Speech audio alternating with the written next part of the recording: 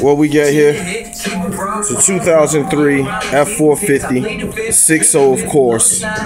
We got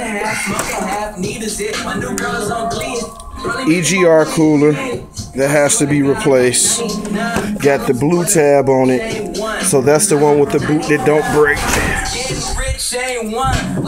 Got the intake out.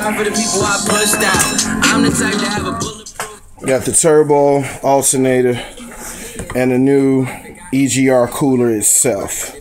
This one is the see a cooler lines through there. So this one is bulletproof.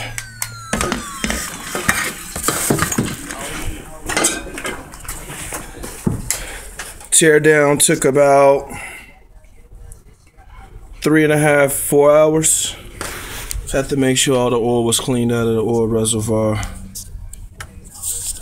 But this is for those who's like, oh, you ain't no diesel mechanic. I don't have to be a fucking diesel mechanic, you jackasses. All you gotta know is just common mechanics. Have a great day.